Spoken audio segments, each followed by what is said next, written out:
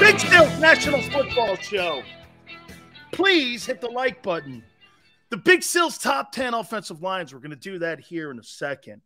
And as usual, I go over to my Twitter page at Dan Sileo Show, and I recommend you guys follow me there. And I only respond, by the way, to people that watch our show and who post on my show, Tone, James.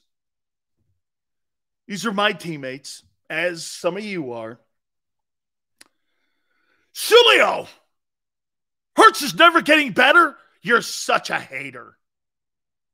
No, that's not what I said, jackass. Boy, I tell you, man, Philadelphia has every trait where every one of you could come to my family's holiday dinners and you would fit right in. I saw somebody say something. What's Philly? What's Sileo's tie-in to Philly? You know what the tie-in is? We're alike. That's my tie-in to you. It's not that I played next to Jerome. My tie-in is I'm like you. Okay? Whoever hollers the loudest, and I only listen to 5% of what I even say. okay? I only listen to 5% of what I say. Okay? Guy said it never be good. That's not what I said, dickhead. Yes, it is. I heard it. I know you heard it. Where are you coming up with? He played one year. Oh, well, played one year. And what you've seen so far, Sileo, you wouldn't invest. Oh, holy maron to me. Ina the Bafangulio. And the guy, you're getting my, you're getting my guinea up. All right, let's go have a damn beer. Come on, let's go to the, let's go to the tailgate, okay? Don't start your shit with me. Hey, listen, man, we have different opinions of something, okay? Dude, get this. Bergey, to me, he's your most complete linebacker. Then Seth took the mantle. Are you talking shit on Bill Bergey? Talking shit on Bill Bergey? No, I'm saying Seth's better. Remember when you laughed at us because we didn't want Tyler Van Dyke? Who's Tyler Van Dyke? that was how little you thought of Hurts last year. Hey, hey, Anton, um, yeah, okay. How little your own organization thought of him. That's why they stacked up two first rounders. Are you under the impression, Anton, that Howie Roseman had a high opinion of Jalen last year, too? I'm not. Howie Roseman didn't have a high opinion of him. So if you're saying I didn't have a high opinion, okay, me and Howie didn't either. Right? Cut from the same cloth. No one was sold, like Gail just said. Silly, but you guys make it seem like I'm the only guy that hated the guy. I, I didn't hate. Hey, by the way, I don't hate anybody. I hate Nazis. Is it? I don't hate real. I don't. I don't hate anybody. Well, there's some people in the media that I'm not allowed to talk about anymore. But hey, let's not forget Russell Wilson was almost an Eagle. See how fast things change, Sills. I don't know, man. That might have that might have been better for him if he would. Hey, Russell Wilson in the Eagle organization versus what's going on in Denver. I don't think Russell Wilson would have had a bad year. I don't. Because you know why? The NFC sucked. He'd have probably been a star. Hey, maybe that's why Russell Wilson the last 10 years has been awful good. Because really, the NFC outside – of Brady stepping in for the last couple years in Tampa and what Stafford did. You had Kirk Cousins running the room and Aaron Rodgers, Mr. Underachiever. He vetoed it. yeah, you, you know what? Yale goes, he vetoed the deal to Philly. Yeah, he might want that back, especially if he ends in a disaster in Denver. hey, look at this. Think about how careers make a bad turn and a bad decision. Brady picked the Bucks because he had only two choices: the Chargers and the Bucks. But what did those two things have in common? They had rosters that were talented. The Chargers had shitty ownership. That's why he didn't pick the Spanos family. Spanos family ain't winning shit. Okay? The Glazers had won Super Bowls. Dungy is a friend of Tom Brady's. They got a great relationship, Dungy and the and the Glazers. So he chose the management group and Jason Licht. Okay. Um, hey, yeah, but the thing is, is that they had already moved to Los Angeles, and Brady would be the second wheel, kind of like Aaron Rodgers is at MetLife. It's got to be the only time that Aaron Rodgers will walk into the building, and he's playing on a team that's a renter. He, you're, you're. Hey, Aaron Rodgers goes from the Packers to the Jody McDonald Jets. Wow. yeah. The three most famous people in Jet history Joe Namath, Fireman Ed, and Jody McDonald.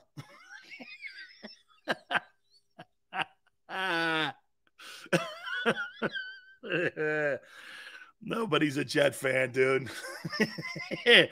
nobody's a Jet fan. Yeah.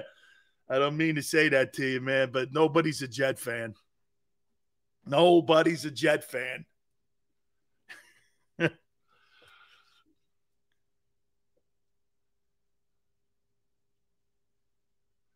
uh, right? Dan, do you honestly see Brock Purdy or Sam Darnold taking the Niners back to the playoffs? I see Purdy more than I do Darnold. Okay. I see I, I see I see Purdy more. Dude, he played well for them. Now, again, I want to see him do it again. Niner guy, hey, you know what Niner guys are doing? And my uh, but my boy Niner guy, hey, did you see that video your guy? Trey Lance? You see, you, you notice Niner guy's not talking today. You know why? That video I posted. Holy shit. This guy's airmailing in a bag drill. bad. I'm like, holy shit. This guy sucks so bad. he can't even hit a wide open coach. Dude, that guy sucks. Terrible ones, man. Hey, if you walked, hey, if hey, Niner guy, if you walked that guy down Market Street, I don't think he'd have any takers, dude. People forget Rams and Bucks didn't trade any picks to get their Super Bowl winning quarterbacks. Yeah, hey, the the Rams did. They traded picks to get to. Um, yeah, they traded. The Detroit's got a bunch of first round picks and couple picks for Stafford. Anton, they made some. They made some trades. That shitty ass drill develops bad habits. Oh yeah. Well, hey, it sure did. hey, here, see, Niner Niner wanted new material. So I said, you know, let me keep because because Niner has now motivated me to have new material for Niner guys. So I just happened to go on the internet and guess who's guess who's trending? One play Trey. I'm like, well, hopefully he's doing something good. The Niner guy can, you know, right at you, Sills. What do I do? I tune it on. This guy's airmailing passes in a in, in, in, in a meaningless drill. Here, here's Trey Lance. Dude, when you throw a ball, Niner, you have to extend. You don't throw a ball like a shot put or like you got alligator arms. Here's Trey. Was, uh, do I have anything to? I mean, you throw grenades like that. You don't throw a football. You know, you got to sit back. You got to kind of like, you know, put your el- put your legs into it. This guy's throwing grenades. Here's Trey Lance. I was like, damn, dog, got to extend it. oh,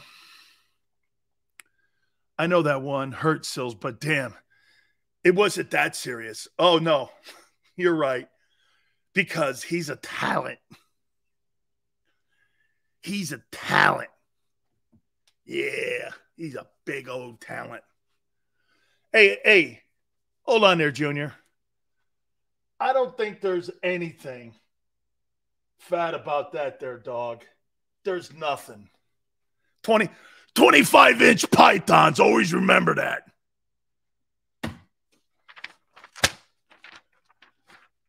What are you going to do when Big Sills Mania runs wild on you?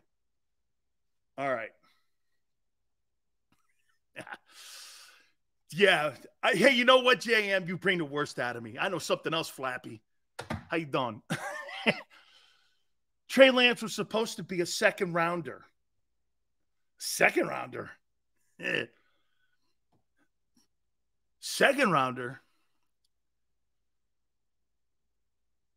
Eric goes 25. Hey, Eric, I still hold strength records from 30 years ago in multiple places. Was one of the strongest people in the country. How you doing, baby? All right. I wrote down the 10, the big sills. Top 10 offensive lines in the National Football League. Here they are. D ball. What's that? yeah. No, no idea what you're talking about. Number 10, the Cleveland Browns. AFC, Ben Powers, left guard. That kid McGlinchey at right tackle. Hey, by the way, McGlinchey is probably the best or second best right tackle in the NFL. I think the Browns got a pretty good offensive line. They're going to need that. And I love the fact that they're spending $46 million on Watson, 46 million on Watson, and they got the 10th best offensive line in the National Football League. They're going to need that. They got talent. They got talent in Cleveland. They just got to put it all together. A lot of pressure on that dude, man. Deshaun Watson to win games. Because you get this, you get no latitude because of the creep. Hey, I'll say this one more time to you about Deshaun Watson. I'm going to be watching him. I'm interested in him. Um, I'm glad he got exonerated. At the end of the day, though, he's still creepy. I mean, when you sit all day long on on like Instagram, oh my God. Uh, hey, let me let me do this. No, I, I wait a minute. Let me. I'm going to remind myself because I want to get through this list because this thing's really Instagram and wife. yeah, Instagram and wife. Remember CTE. Just I put that. I remember it. Instagram wife Ben Simmons Okay. Trolling. okay. I have to remember that after this. Okay. So I think the Browns have a pretty good offensive line. Number nine, 49ers. Trent Williams, center's pretty good. They got a damn good offensive line. They got a lot of great offensive weapons on that football team. But get this I think that the 49er offensive line has actually stepped back Okay, a little bit. Number eight, the Chiefs. Um, that Humphrey kid's good. Creed Humphrey, the center, one of the better guys in the sport. And they, they're making a lot of investments, in my opinion, in the offensive line in Kansas City. They weren't going to pay Orlando Brown. Orlando Brown ended up moving on. And um, my opinion, I think the Chiefs kind of are stepped back a little bit here, but they got a little cheaper there. Number seven, Packers. They got Bakhtiari there. They got Runyan there. It's a pretty good looking offensive line. They're going to need it for a young quarterback in Jordan Love. Okay, personally, I think the Packers are going to finish in last place in the NFC North. But they got a good old line. They got a lot of talent on that football team. Okay. And the quarterback, Jordan Love, you go from Brett Favre to Aaron Rodgers to Jordan Love. Get get this. There's guys up there saying he looks pretty good. We'll see. You know what? I can't think of a place in NFL history that had three consecutive quarterbacks that were going to be superstar players. This would be the first. You know, 49ers had Montana and Young, and you know, the only other place I ever saw win with multiple quarterbacks was Washington with Joe Gibbs. So we'll see. I got the Lions at number six. Penei Sewell, Frank Ragnow, one of the better guys in the sport as well. I think the boy, the, the Lions are good everywhere. D line, O line. Jameson Williams comes back. They get a get him back in the wideout position. They drafted a running back. Linebackers, they got a new guy in the draft in the first round. They got CJ they added. I, I, I would say the corners, you know, I'm, a, I'm a, a probably a little suspect at the cornerback position. But um, the Lions have a lot of good. The, the Lions have a lot of good pieces to their puzzle, and that offensive line. See, if you're going to be a successful team, and look at this.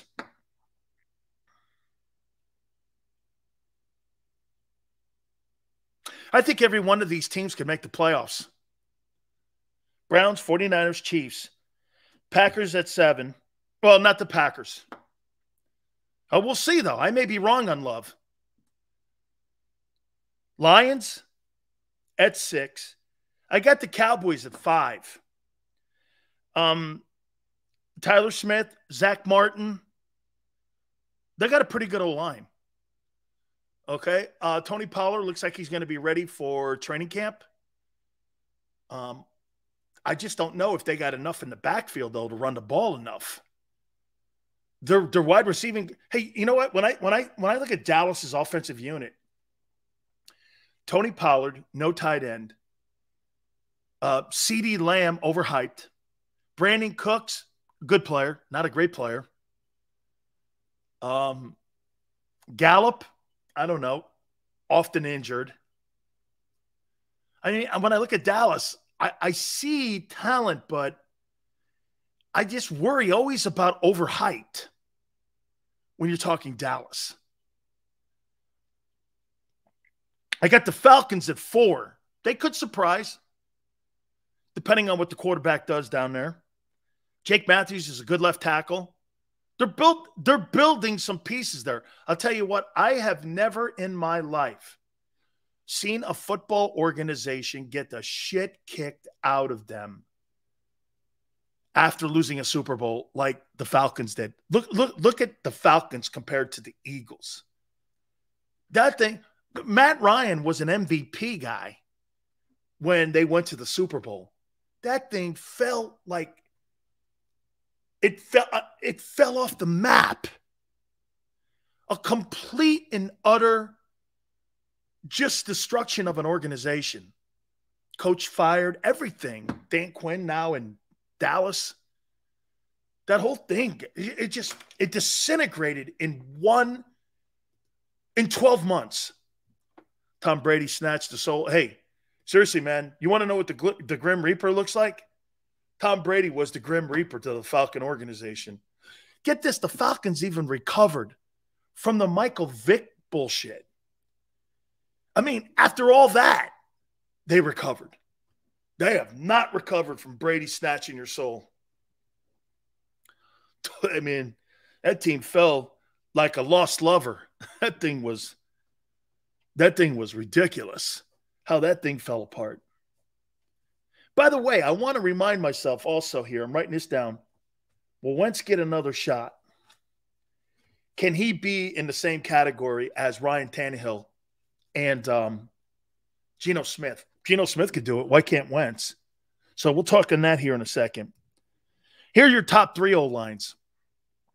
I got the Ravens at three. Ronnie Stanley, I love him. Fantastic left tackle. Has been amazing. You know, that's one thing that Baltimore has gotten right ever since Jonathan Ogden, Bryant McKinnie, all them dudes that they have had there. They have had great left tackles. They do a spectacular job at the safety position, and they do a great job at the left tackle position. Man, they evaluate that thing immensely well. I mean, they have had star old linemen in that organization. They can really, really evaluate that position. Great at it. Um,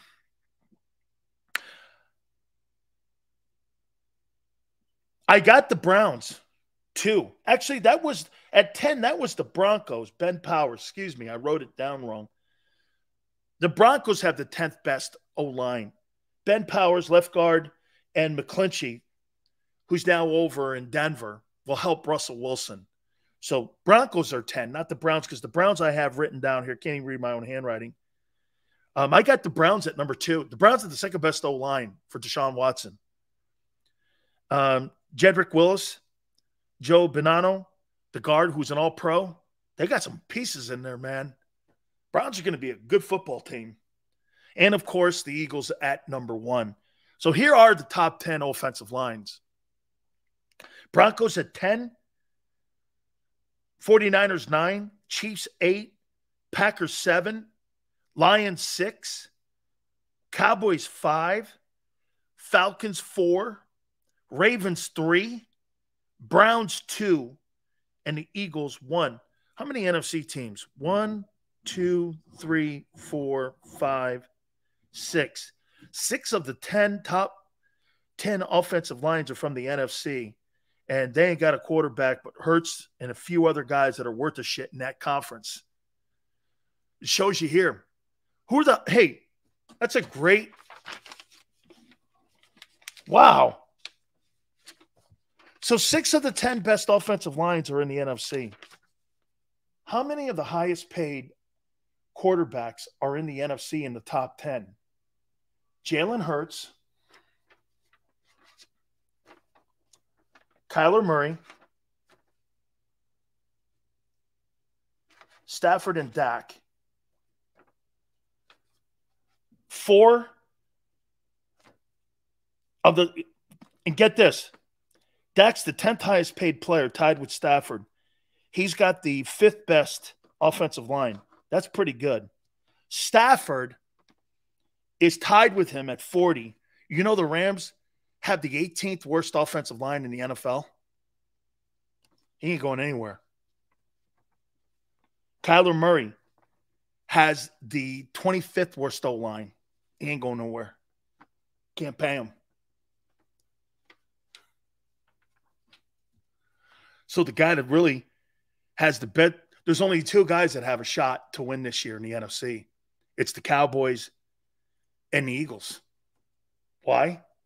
Quarterback. Now, and, and by the way, Hurts ain't gonna start making that money till 24. The the only guy in the NFC that matches up with a good old line and is being paid is Dak. That just shows you. You pay a guy if you have no offensive line. You're, you're right. You're walking backwards. These teams are look. The Rams are walking backwards. You why would you pay Stafford forty million with a two dollar O line? The Cowboys, Dak makes forty, and they have the fifth best O line. That's not going to hang around for much longer because he goes to fifty two million dollars next year because and they don't have him on a Jalen Hurts deal. So really, the only guy this year, there's two guys that have a shot to win the Super Bowl this year from the NFC. Is the Eagles and the Cowboys. The rest of you have no shot from the NFC. Rodgers is now in the AFC. Kyler Murray is not playing until week eight.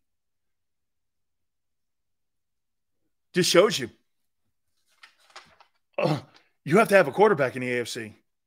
And in the AFC, I'll tell you what, the Browns, second best O line, and you're paying your guy 46. They're totally going to make the playoffs. I'm now looking at this and lining this up. There is absolutely no way that the Browns are not going to make the playoffs. The Browns are going to make the playoffs. Second best O line, and you're paying your guy 46 million. He's sixth on the list. The Ravens, third best O line, number one number one quarterback and pay at 52 million. Wow, are they going to make the playoffs? Falcons, they don't have a quarterback. Cowboys, the Lions. I think if I'm not mistaken, I think Goff makes 38 million. So he's kind of around 40. if you want to sell a guy on taking a team friendly deal and his all line sucks, you sit them down, point, the, point to the old line and say, You want your ass protected or not? That's right. You look at Jalen Hurts and you go, Well, how do we make this all work? What do you want to do? Well, here's what we're going to do we're going to put you on a legitimate three year deal. We're going to front end the contract, give you the majority of your money up front to 172. And what we'll do is, if you're playing like you're going to play, like we think you're going to play, in your second year, you won't hit your third year. Don't worry about it. We'll restructure it, add extensions to it. That's what we'll do. And if it doesn't work out for Jalen and something goes sideways, injuries hit, whatever, Jalen Hurts is not 30 years old and he could bail out of that deal himself after three years and get another contract somewhere else. See, he's in the draft. See, to me, I don't want long term deals. I want short term front ended deals today if I'm a quarterback. Why? Well, how do I know the organization is going to keep putting the players around me to help make me win? Here's a prime example of it. Some of these teams are overpaying quarterbacks, and your old lines are some of the worst in the league. You're never going to win. Matthew Stafford has no chance of winning this year. He's got one of the worst offensive lines in the league. He's not winning. Can't protect him. Kyler Murray, one of the absolute worst O lines in the NFL. You're not protecting him, hence why he's hurt. It's it's pretty simple math here. That's why when Mahomes came out and said this, he came out, well, I guess either yesterday or the day before. He goes, Look, there's a fine balance. And he's talking like Jalen Hurts and Tom Brady. There's a part of you that has to invest in the process. See, Jalen invested in the process because the Eagles were kind to him and did the one thing organizations are.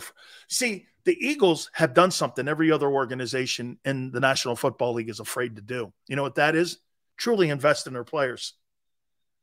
The Eagles are the only team in the NFL that invests in their players. The Cowboys don't even invest. They invest those bullshit contracts where the back end of the contract has all the money, hence why they get caught in cap hell because either they have to cut the player or they have to go to the player and cut and tell them that you have to take a pay cut. And if you don't take the pay cut, we have to get rid of you. I mean, if they had done the whole Zeke Elliott thing right, he'd still be on the team. Him and him and Tony Pollard would be a nice combo, but they can't afford it. And they look bad in the process, so they had to cut him. That's not how you want to do business. You're trying to accumulate great players. You're not trying to systematically outbid yourself. And so the not even the Cowboys invest in their own players. The Eagles do that. The Eagles are the only team I've ever seen these restructuring of contracts with so many of them that they give the player actually what he's worth. They they they go to Jordan Mailata. Can we do? We're going to restructure the contract. Here, here's some money here. Um, Darius Slay. Hey, this is really a. The Darius Slay signed a one year contract. He will not be on the Eagles next year. And you know how you compromise that? Maybe he is. You sign him to a two year deal, three year deal. But what you do is you front end it. Well, we got to take five million off the cap because we got to pay other guys. But here's $18 million or 20, whatever it was. Okay. You're not getting that anywhere else. So the player took the money up front, $5 million, $4 million, or $3.5 million haircut. And in the end, he has more money in his bank account, more guaranteed money. Look at Lane. Lane's got a giant payday next year. That's paying your players. That's paying your players for years you haven't played yet. NFL owners don't do that. They're afraid to. That's why they always back end these contracts. Well, in the first year of your contract, you'll make this amount of money, that amount of money, that amount of money. That's why Patrick Mahomes' deal is outdated already.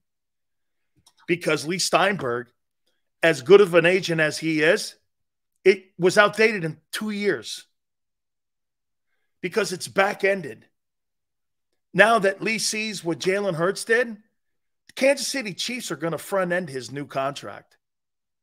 They're going to front end that contract, man. They're going to go like this here's $200 million up front on an extension to raise your thing to 52, 3, 4 million dollars.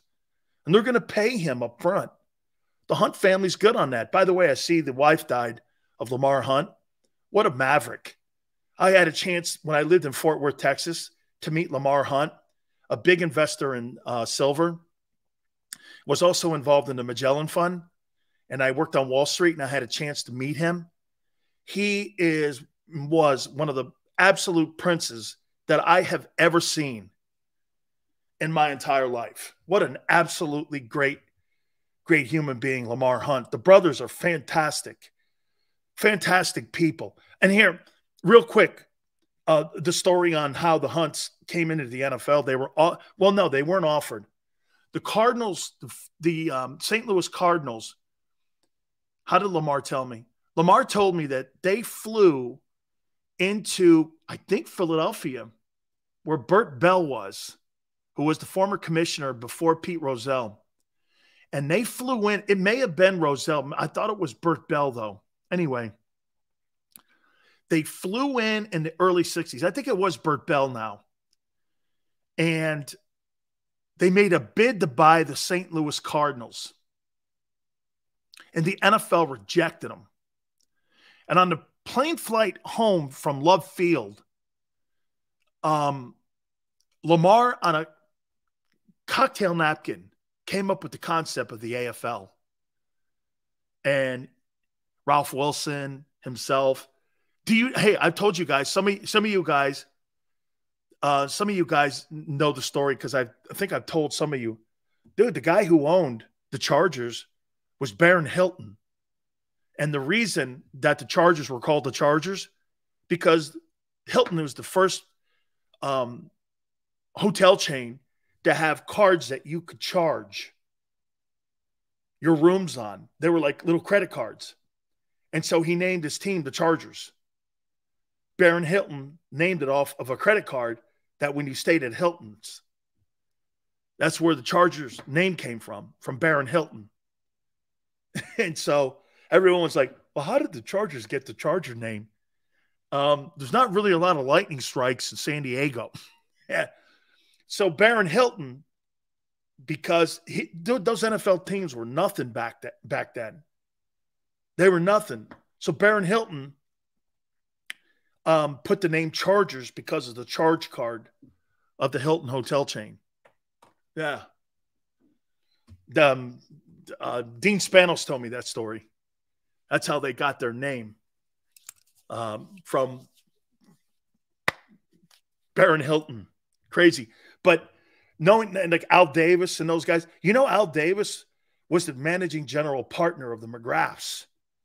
Al really didn't put any money in. I think it was a $60,000 franchise fee that the McGrath pay, family paid for the Raiders in 1960 and they paid that in 60 like 20 no it was 25,000 for franchise. Al told me this. And he became the coach. Then he went from he was the former AFL coach of the year. Then he went from coach of the year to the commissioner of the AFL and do you understand? One of the reasons that the AFL and the NFL merged all the NFL owners said Al Davis is not going to be the commissioner of the National Football League. It's going to be Pete Rozelle. Those two guys used to bitch and fight over talent because there used to be a bidding war. Namath was supposed to go to the Cardinals, the St. Louis Cardinals. They had draft, they were going to draft him. The Jets, it was between the Jets and Cardinals that had his rights. And Sonny Werblin, the owner of the Jets, Titans, paid Namath like $500,000, was the richest contract in professional sports. And Sonny was like, I think he was an agent at EMI. And so all the superstars used to go to the AFL games. But this all came around with Lamar Hunt. Lamar Hunt was the architect of all this. So it was Lamar Hunt that went to Al Davis and said, okay, we'll give you the Raiders. You'll be the managing general partner and the majority owner of the Raiders, but you can't be commissioner. Al took it because it would be financially more being that than the commissioner of the NFL. So he went back to ownership instead of being a commissioner of the NFL. And now the Raiders in Vegas are worth $6 billion. I mean, so at the end of the day, Was ahead of his time the whole time. Yeah. But this, again, all Lamar Hunt. All Lamar Hunt doing all that. Pretty crazy how the AFL, I'm a big AFL fan. I love that. I, I played probably in the third best non NFL league. Um, I think it goes USFL, no, AFL, USFL, World League, then the old World League that like Csonka and them guys went to. I, I probably played in the third. It's like four great leagues. And now they got the upstarts, and now the XFL is probably fifth. That the top three were great. Um, I played in one of those leagues that were just, I mean, Scott Mitchell was our quarterback. We had great coaches too. Chan Gailey was in the it was it was a bunch of great coaches. CFL, none um CFL is a great league. CFL is a great league. I'm talking the American football. CFL would probably CFL is actually older, believe it or not, than the National Football League. All right, let me get over to this topic before we take a timeout. Can Carson Wentz be saved? Philly fans, football fans. He's been out of Philadelphia for some time now. Can he be saved? Nathan goes, no. Hey, by the way, Carson Wentz is a better football player than Geno Smith. Love the Australian League. Geno Smith is not a better player than Carson Wentz. He's not had a better career. That is not true. Not, it's not remotely close. By the way, Carson's probably had two better years than him. Not a better player. He has to first want to save himself. You can't throw a life raft to a porcupine. Interesting. Interesting. If he goes to New England, you guys must forget that Geno Smith got knocked out in the Jets locker room and no one defended him because he thought everyone thought he was a shitty clubhouse leader. You guys, you guys remember that? He got knocked out by a special teams guy, and no one, not one offensive line, got up and protected him. If anybody got up and raised a hand to Jalen Hurts, you'd first have to deal with that monster on the left tackle position, Jordan Mailata. Every time someone gets a little frosty with Jalen, Jordan Mailata is right there. Okay. Sills, how do you think Wentz will do with the Eagles now? Would do with the Eagles now?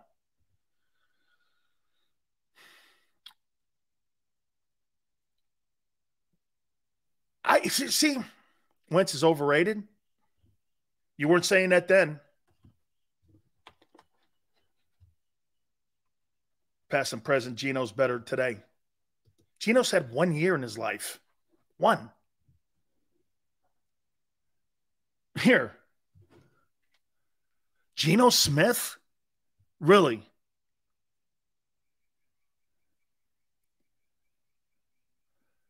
Geno Smith stats. I guarantee he's older too.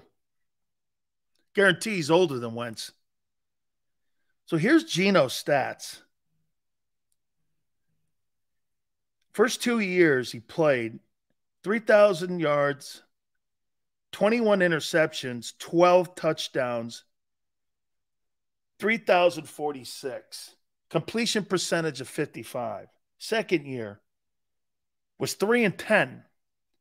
59.7, 2,500 yards, 13 touchdowns, 13 picks. Then from 2015, one game, 16, two games, 17, three games, 18, five games. Didn't play in 19. 20, one game. 21, four games. This last year, I played all 17. His best year in his career was one year 69.8 percentage completion, 42 82, 30 touchdowns, 11 interceptions. It's a heck of a year. Now let's take a look at Carson Wentz's career. Carson Wentz stats.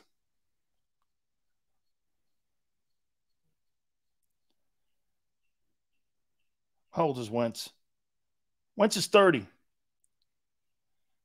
First year starting 62 4, 37 82, 16 touchdowns, 14 interceptions. Second year 60.2, 32 96, 33 touchdowns, seven picks. It's a better career already than Geno Smith. Third year 3,074, 21 touchdowns, seven picks, 70% completion percentage. He's already a better player. 2019, 4,000 yards. Only quarterback in Eagle history to ever do that. 27 touchdowns, seven picks. Now he's doubling them, and now he's lapping them. Indianapolis, 21, 35, 63, 27 touchdowns, seven picks, 62.4 completion percentage. Last year, 11 touchdowns, 1755. He was benched, 62 3. It ain't close. Wentz is, a, Wentz is a superior player to Geno Smith. Superior player to Geno Smith. Superior. Superior. Lapped him four times. Four times. Let's see. Geno got better coaching, better organization. Okay. Geno has a decent year, but he isn't sniffing Wentz's. It's not close. He's lapped him five times. But why isn't anyone knocking on Wentz's door? I know Wentz fell off, but let's not be disrespectful. Geno has one year and he's God now. He's, I know that's the point here. Yeah, but you also have to apply that to Hurts. It's hang in there. He's trending and younger. All that, yes. It's a different. It's it's it's a different dude, Tone. I got it. No, no, no. It's it's it's different.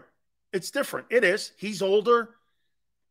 I get it, but I think it has a lot to do with coaching.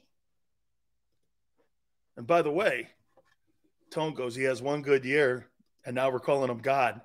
I apply that to Hurts. He's like, I, uh, technically, technically. oh man, hey, you know, you know, Tone, I'm going to hold that technically thing to you. Technically.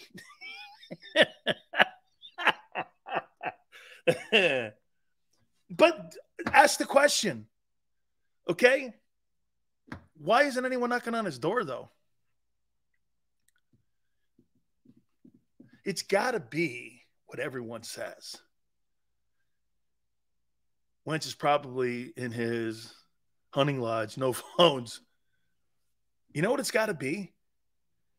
He's uncomfortable to be around. It's got to be that. You know how there's certain people when you get into the room, you're like, everyone's having a good time. You're talking. All of a sudden, that one family or that outsider guy walks in. It's kind of like talking sports in Philly. Just, um, what does he know? Who's who's he? Who's he? Can I? Who's he? Can? What's who's his people? Who's this guy? Still? What, what what what is what does he know? What what what has he ever been to the plateau. Does, does he know anything? Yeah, you know? Because the cat is out of the bag. The league knows he's a weirdo. I think that, you know what? It's crazy. And to the point as that is, He just doesn't fit anywhere. I think that's it. Then again, I thought Belichick never fit anywhere. He had to go back and learn how to be a coach and deal with players. How did he do that? He went to the Jets when Parcells was there. He had to learn to be better with quarterbacks, which he hasn't proven yet. Talked about quarterbacks managing egos. Brady man, dude, Brady coached Belichick when it came to the mentality part of that franchise. Brady was the smarter one. You know why? He tolerated that shit. See, Wentz is the reverse. See, Wentz is the guy, I mean, it has to be the reason that no one wanted to help him is because he's unapproachable. Looks to me when Jalen Hurts walks into a room, you you you you you're you're drawn. You know how those guys are. There's guys that dude walks into a room or anybody with a great personality, it just blows the room up, and everyone. It's like a magnet. And I, there's so many great people. Like when people walk into a room, you know, a guy who has or a woman who has presence when they walk into a room. You know that.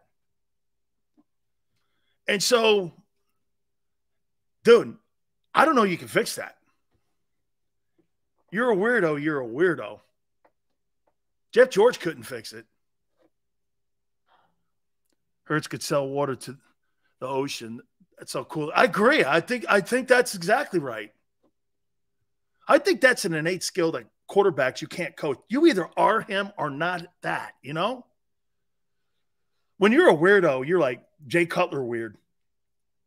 I don't know where he's coming from. He's really like I think that I think that stops Aaron Rodgers from being the success that he needs to be with those numbers that he's put up. You can't put up those kind of numbers and still be what is he in the postseason? 12 and 10. I don't know. What is that? I, mean, I think it's because you're weird. I think Russell Wilson's weird. Patrick Mahomes, I think he relates. Remember something the Mecca, lots of great people in history have kind of weird, have been kind of weird, depends on how you use it. How about this then?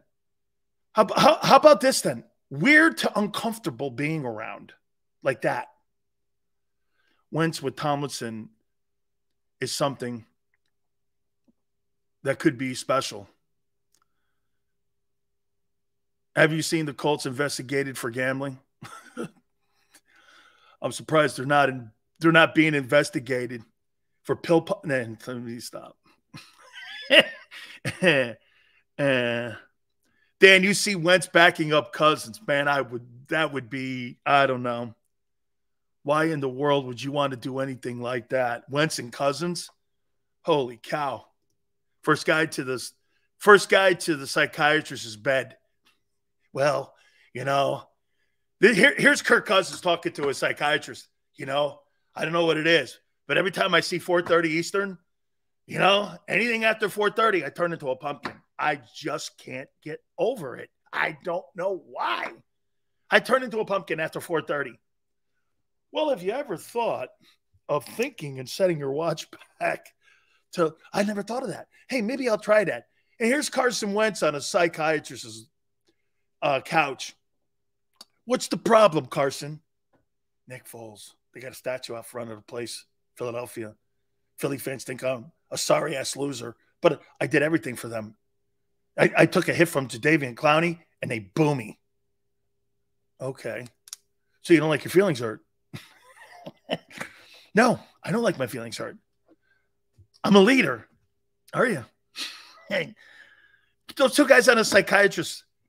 I mean, seriously, those two guys could make a psychiatrist a billionaire. I mean, I just don't know, man. I had, you know, I had Stefon Diggs. Now I got Justin Jefferson, and every time after 4:30, I turn into a pumpkin. okay. night games for Cousins. hey, hey, Kevin, don't let it hit midnight, man. The carriage turns into a pumpkin, and the and the glass slipper, man, falls off. I got a feeling that's what's going to happen to Penny's Jones in New York. Dimes Jones, man. You give a guy $46 million. Good luck. Okay.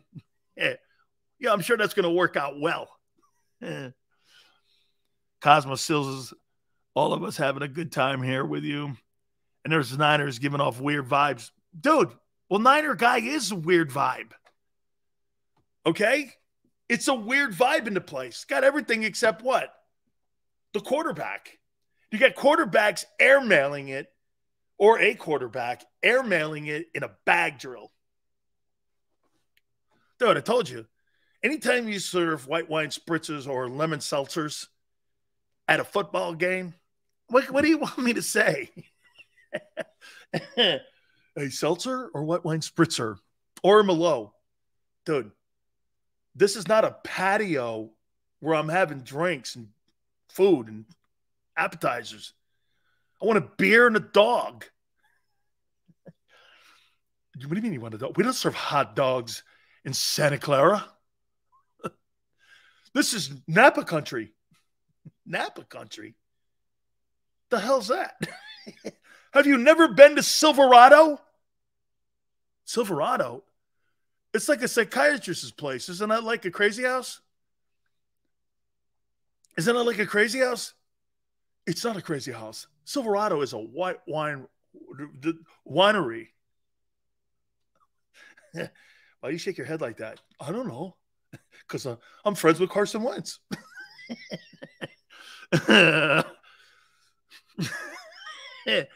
Seriously, I, I, had gone to the stick before, sat in the stands. guy came over to me, man. He goes, gave me, offered me a Niner. I hate to do it to you, man. Guy offered me one of them little wiener dogs on a, like on a toothpick. I was like, what in God's name is this? And he goes, it's a wiener dog. Haven't you ever had a wiener dog? I'm like, on a toothpick? I go, well, how many of those things do you think? how many of those things do you think Big Sills could eat at one time? A hundred? so they, they gave me a wiener dog on a toothpick. I said, Well, you better give me 50 of them. and the guy, hey, and, and, and the guy was looking at me, goes, You're kidding, right? I'm like, No, I'm not kidding. You better give me about 50 of them. They're about this big. It's like, what are you talking about? Wiener dog. Do I look like a wiener dog? oh man. Sorry, guy. And the Super Bowl 60s there. Wiener dog or brie?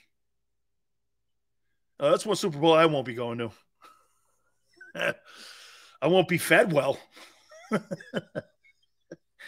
and Merlot, Chardonnay, lemon seltzer. I don't want any of that.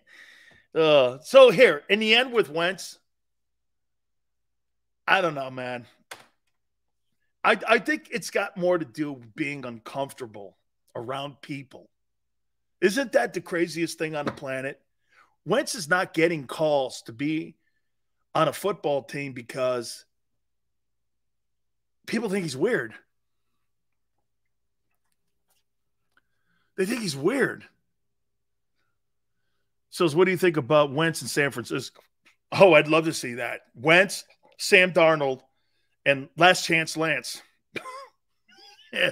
Hey, if if I were the Eagle fans, I'd be doing a petition right now. Niner fans, you should sign Carson Wentz. you see, the four, the Eagle fans have don't you agree, Tone? Eagle fans have two things going. They they have a um, they have all these guys that petition the NFL every year to make sure that Jerry Jones still owns the Cowboys. And now what they're going to do is they're going to get people that are going to make sure that Carson Wentz lands in San Francisco to undermine that thing too. Hell, you got Josh Harris now owning the Commanders. What more do you want? You have the whole division wrapped up pretty soon. hey, you got hey, pretty soon you're going to have the whole division wrapped up. ah. Hey, Josh Harris is the owner of the Commanders. I think Wednesday he's meeting with the finance people. If I'm an Eagle person, I'm like this. Well, that guy has completely effed up the Sixers. You really think he's going to turn around the Commanders? What we give you that idea? I mean, hey, believe in the process. Hey, hey, Tone. This is Big Sills from like 20,000 feet looking at you going, hey, believe in the process. What's the process? Tanking? Shit, there's been more tanking in in Philadelphia by Josh Harris than any owner in the history, and that includes Donald Sterling. Uh, hey, you got no chance. Yeah, that's it right there. No chance, Lance. Got a new one. You got a new one, right? Hey, you guys have been awesome.